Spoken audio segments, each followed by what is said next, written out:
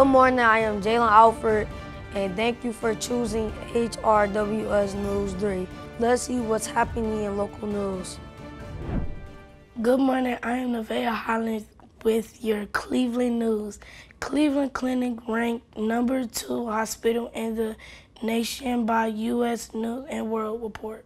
This year ranking marked the 27th year the hospital has earned the top spot in cardiology and heart surgery. It's also the 23rd year in a row Cleveland Clinic has been ranked among the top five hospitals in the country. Three men shot at Cleveland's Jefferson Park on Monday night. Cleveland EMS confirmed two men were taken to Metro Hospital in serious condition. It is unknown if any suspects have been identified or arrested. Cleveland Metropolitan School District announced new dress code policy.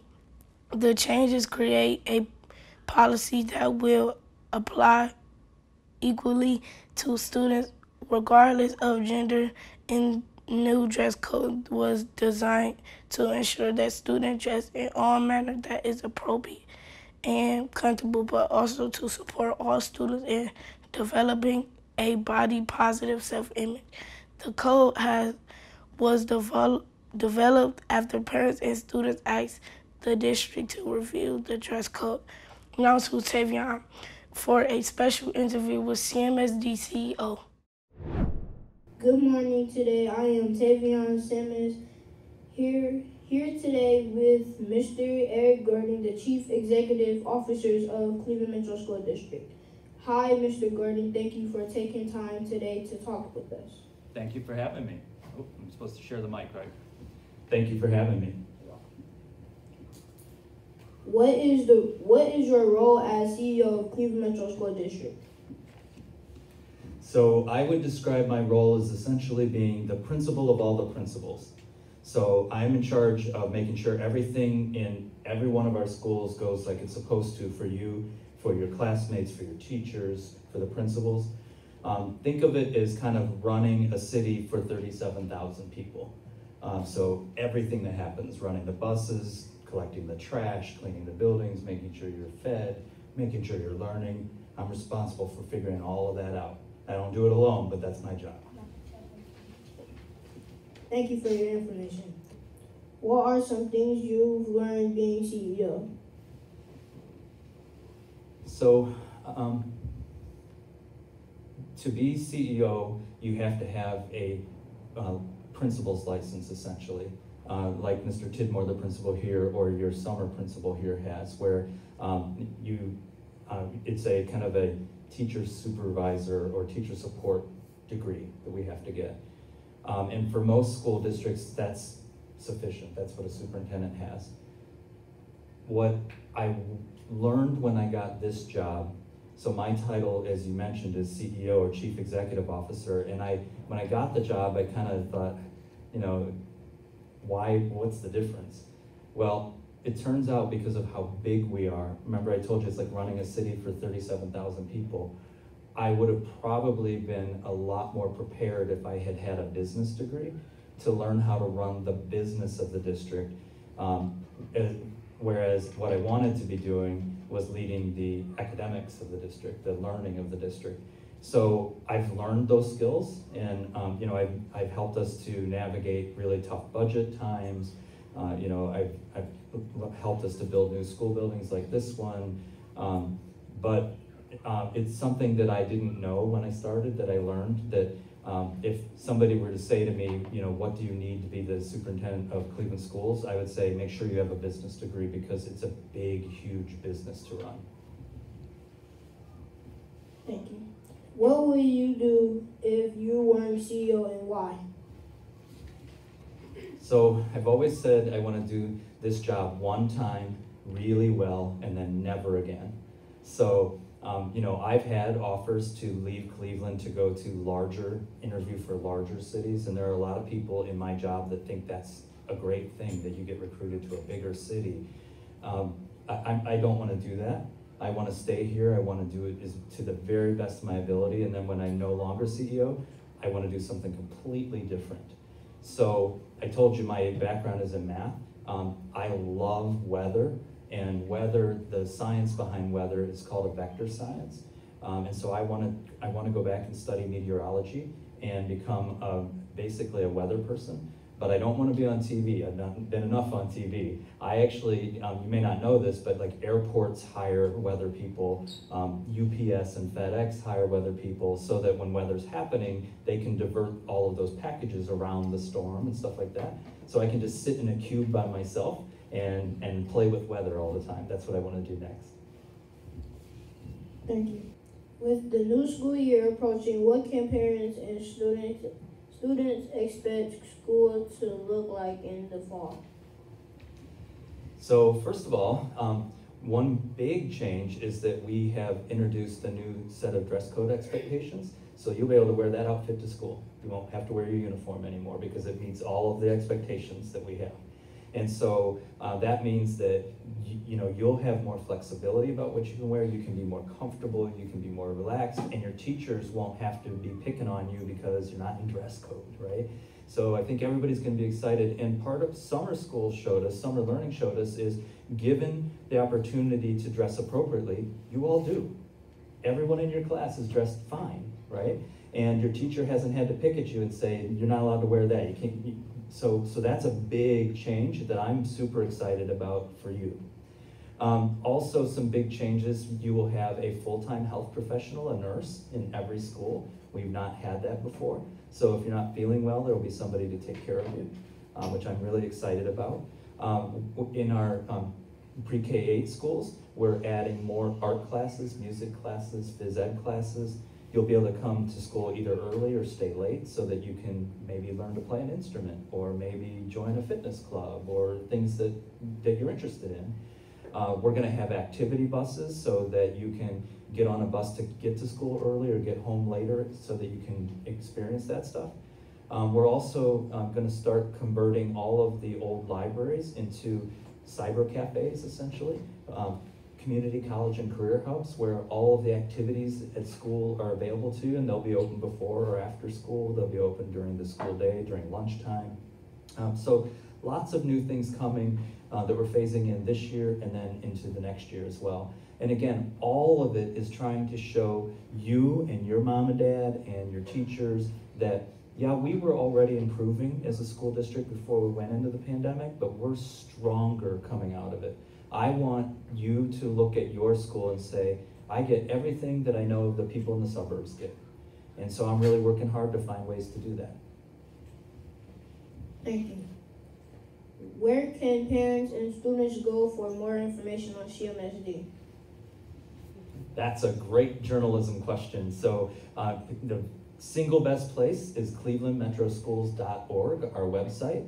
Um, and when you go on our website, you can click on a button, and that button will take you right to the back to school page and has all of this information and, and more. Um, also, people can call the district. Um, our number is 838-0000. Super easy to remember. 838, four zeros. And then we'll uh, connect people through. obviously, our social media and download our app, and you can have us anywhere, anytime on your smartphones too. Thank you. Thank you again for being here today and providing us with an inside look into what it takes to run our school district. Thank you.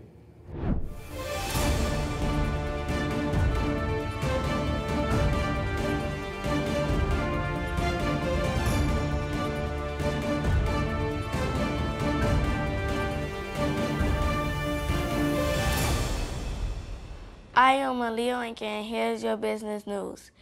The Cleveland Chain Reaction Project announced 24 businesses that will participate in a six-week business bootcamp. The project goal is to create jobs and money in Cleveland's neighborhoods while providing education and information for business owners to benefit our city. Those businesses will make pitches at the Business Pitch Showcase. On September 29th through 30th, there will be six winners that first prize will receive $40,000. Second prize winners will receive $20,000. each. Three third place winners who we will receive $10,000 each. Good luck to all the business. Now moving on to health news. In health and wellness news, the U.S. could see 200,000 COVID 19 cases a day within the next six weeks.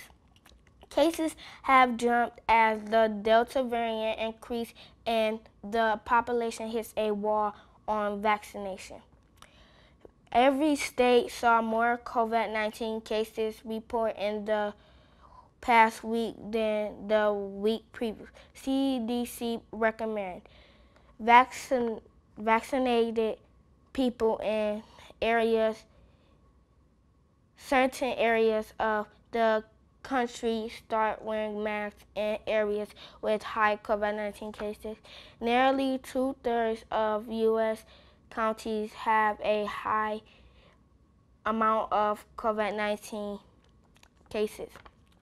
As COVID-19 cases is increased, vaccine hesitation is still high in some states. The hesitation that remains in parts of the country is alarming is COVID-19.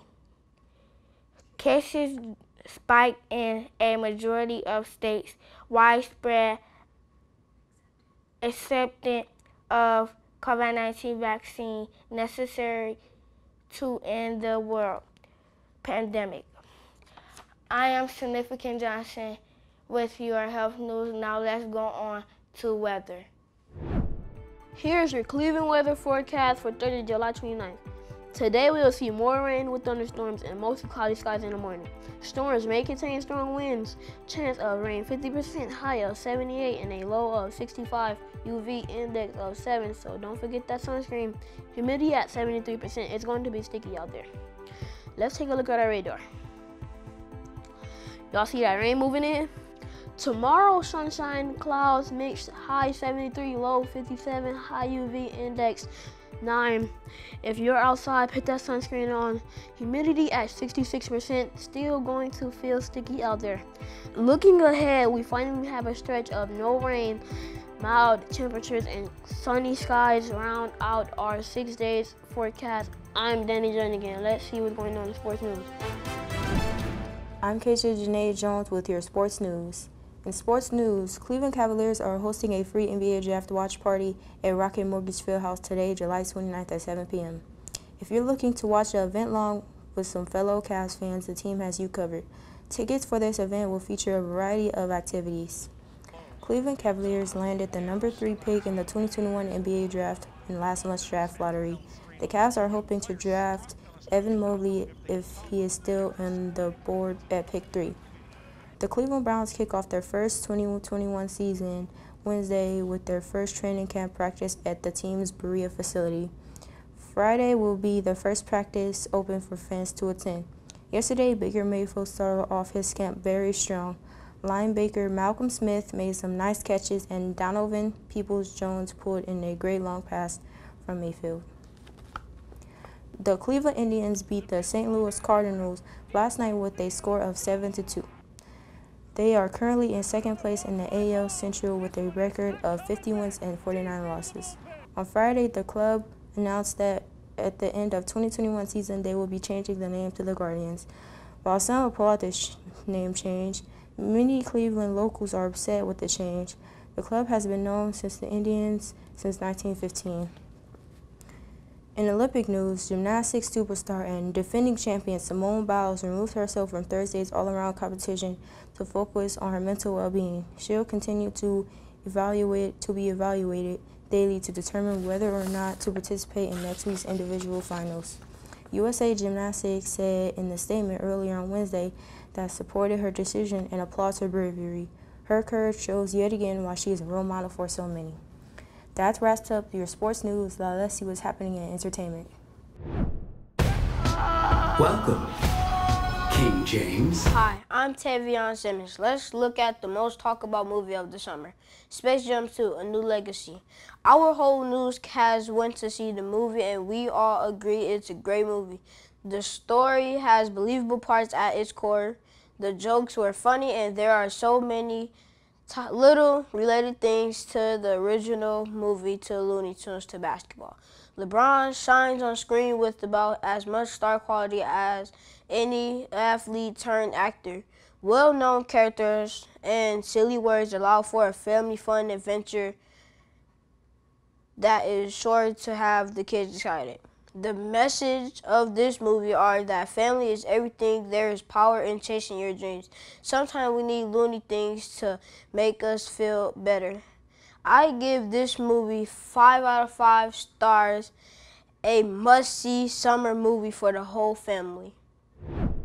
In other news, Instagram tested a TikTok like vertical feed presentation. TikTok has been the most downloaded app for the past 18 months.